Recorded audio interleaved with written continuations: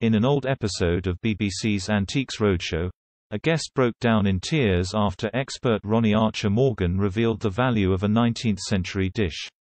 The guest explained he acquired some of the items for just under £10, leaving Ronnie blown away. Visiting Ham House in London, Ronnie began. These are really nice items that you brought me here, they're nice examples of things from Melanesia and Polynesia. So, tell me how you come to be the custodian owner of these pieces of tribal art, to which the guest replied, When I was 16, a dear friend of mine gave me this. He continued, I sort of was intrigued by it, and the story they told me was that their ancestor was on the boat of Captain Cook who went to Fiji in 1774, I think. And this was brought back, but of course I had absolutely no proof of that. This one was at an auction. And I paid £4 or something like that for it.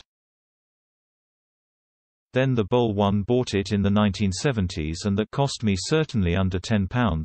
He explained, leaving Ronnie shocked. Ronnie asked the guest's wife about what she thought. She replied, I absolutely love them. Our house is stuffed full of things like this we're passionate about battle pieces.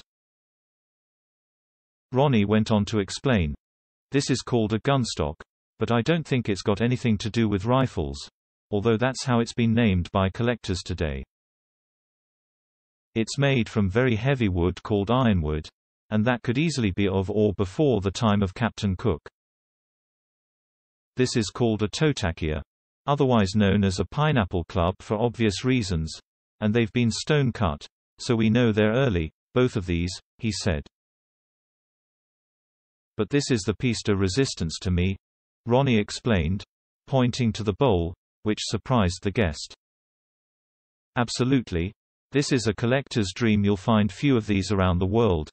This bowl is amazing, amazing patina, amazing carving.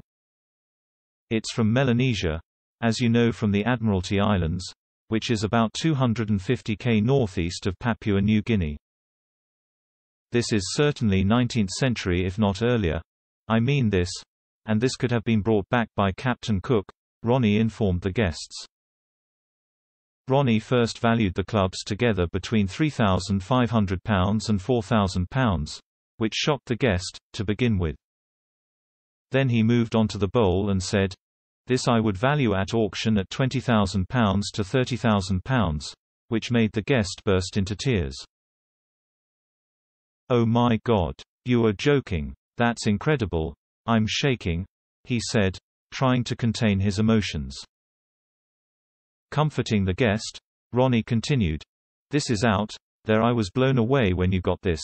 To which he replied, You really have taken my breath away. I'm totally totally lost for words, I really am. I thought it might be worth between, I don't know 701,000 or something, but that is beyond my wildest dreams. The couple decided not to put their items up for auction as they had sentimental value and a unique history.